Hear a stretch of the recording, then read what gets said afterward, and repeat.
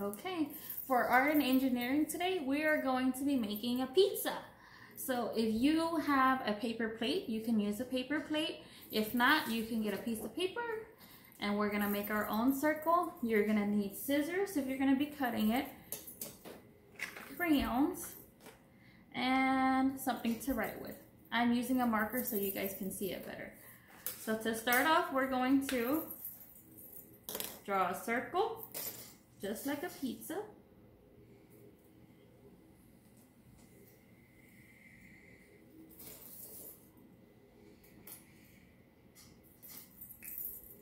We're gonna cut out our pizza with our scissors.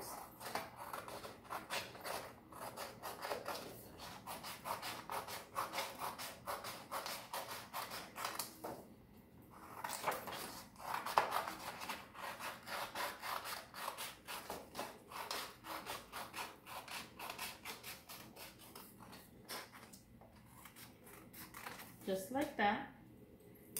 Miss Ponce's looks kind of like an oval. I tried to draw a circle, but came out more like an oval pizza. So now I'm going to draw different shapes inside of my circle so I can color them. So in on my pizza, I want to draw circles for my pepperonis. I'm just gonna draw a few all over. I wanna do Let's do rectangles for my cheese. And you can have them um, different sizes, different shapes, draw them all over. Let's see. And I want to draw triangles.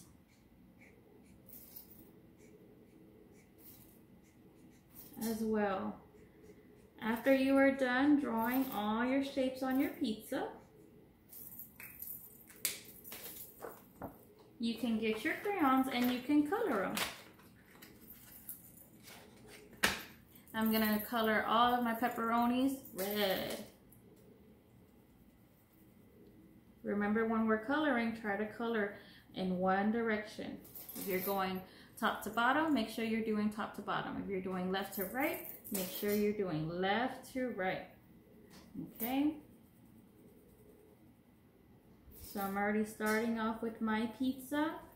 So now, as I'm finishing up, I will post a picture of my pizza. I wanna, I want to see your picture or your video of your pizza on Flipgrid. Make sure you post it. I can't wait to see the yummy pizzas you guys are making.